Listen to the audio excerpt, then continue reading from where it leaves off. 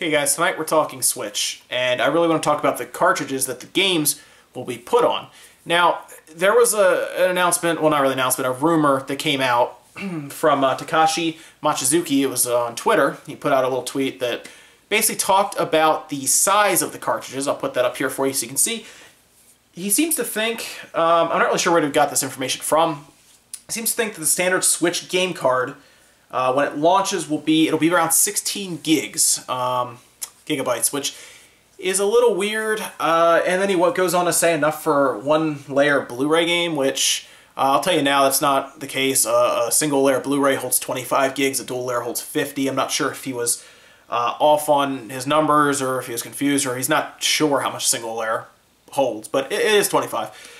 And that kind of threw me off a little bit, only because I had a feeling that Nintendo would not go backwards with their storage media, considering the Wii U used like a proprietary Blu-ray type disc format that held 25 gigs. I'm, I'm pretty confident it was just a single layer Blu-ray. Of course, they're not going to say that, I guess. I don't know. But it appeared to hold 25 gigs.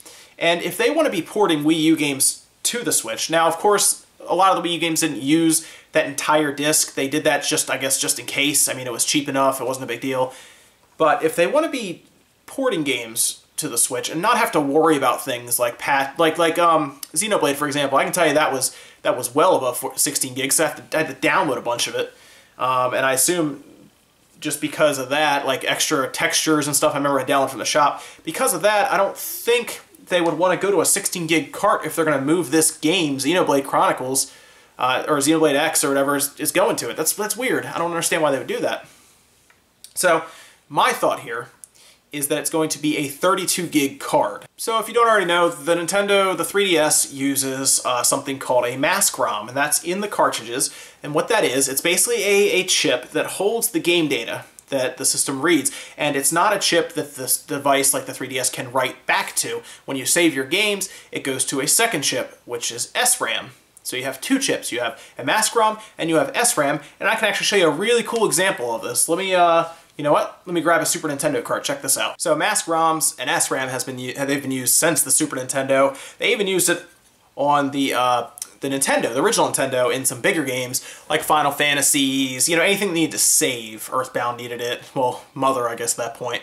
Uh, Baseball Stars. Anything you had to save data. Tecmo Bowl, Super Tecmo Bowl. Uh, you had to have a place to put the information because they could not write back to the mask ROMs. And the reason they do that is to save money. Money is important, where you could use a very small SRAM, but then a large mask ROM. So here is a Super Nintendo cartridge without the shell. We have a battery that powers the board so it can save. We have, this is the mask ROM here. This is the SRAM. So when you save a game, let's say you are playing a game, it is reading the data from here, going down in the Super Nintendo, and then when you go to save, let's say you're playing Mario World, for example, you beat a level and it asks you to save. Like, you know, you beat, you beat the haunted house, that's your save. And then you come up and it'll actually write to this chip here. It will not write to the mask ROM, it will write to the SRAM. The reason to do that is because this SRAM is much smaller and much cheaper to use than this mask ROM. So these mask ROMs here could get up to 4 megabytes in size.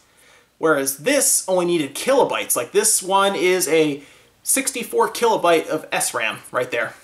So it does not need much and they did that to save money. They're doing the same thing with 3DS carts. They'll do the same thing probably if they want to save data to the to the um to the cartridge. They'll do the same thing with the Switch.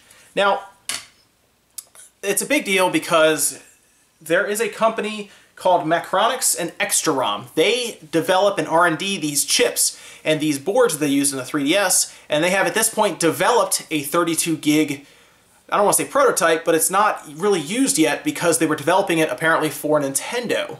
And the idea here is they will then have 32 gigs of storage for the Switch, which, which should be enough um, for now. I know some games may get larger than that, and I'm sure they'll keep developing because technology is going to keep moving. So I'm sure eventually you get to 64 gig, and then do you really need to go above that? Because a dual layer Blu-ray only holds 50, and trust me when I say the PS4 and the Xbox One, Sony and Microsoft, they are slowly getting away from physical media uh, and they just want you to download everything. So at that point, file size does not matter. Nintendo seems to care more about the physical media to the point where they are R&Ding and figuring out uh, different cards they can use to give it more space.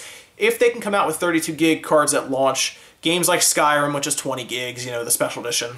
Um, games like Battlefield, any big games, Mass Effect, should be able to fit on there. And if they're a little bigger than that, I'm sure just some compression techniques and stuff will let them get that game on there. And there's also a chance, because it's developed for ARM, ARM games tend to be slightly smaller than x86, so there's a good chance that these games may shrink in size when it goes there. Not by much though. It's not a huge file difference. It's maybe a gig or two, so don't get too excited about that. And of course there's compression because they can actually compress files like audio and textures and then let them basically uncompress while they're playing. It'll be a little easier to read from the cartridge rather than a disc. I remember the 360 had some really bad texture pop-ins at times, especially with games like Rage, where it would read from the disc and then it would load the textures, whereas with a cartridge, we've all talked about this, I see you guys talking about in the comments, the read-write times are significantly faster by a lot. It's like an SSD compared to a hard drive. Um, and what that'll do is it'll let it pull textures and stuff faster, and we wouldn't really notice a pop-in issue. And that's fine. They can probably do that. They could probably even take some of it, compress it onto the cartridge, and then uh, like basically decompress it and install some parts to the switch.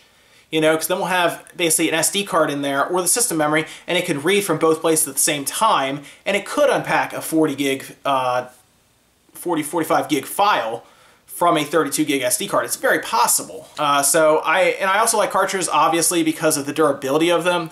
I'm careful with my games, but there's a lot of people out there that aren't. And unfortunately, at this point, we don't know which games are going to become hard to find in the future. And if we can keep those games around, uh, I know there's a lot of people who want games like Yakuza 2 on the PS2 or, you know, games like that, and they're just destroyed because they're discs, you know? So if we can keep them alive by using a cartridge, that would be great as well. So I'm looking forward to buying older, car obviously buying cartridges. It'll feel kind of like the old days. They're not as big, obviously, so I guess it'll feel just like buying a 3DS game, but it's still cool to see their main system start to use cartridges. I, I like that idea. So, um, but what do you guys what do you guys think about their move to cartridges? Do you think 32 gigs is enough? Do you think compression will help them if the game is bigger than that? But definitely let me know what you guys think in the comments below. And there's another video coming tomorrow. And I had this thought while I was doing some research for another video wouldn't it be cool if GameCube games made an appearance on the Switch? We just gotta figure out if the X1 can handle it, but we might have already figured that out. So I'll see you guys tomorrow.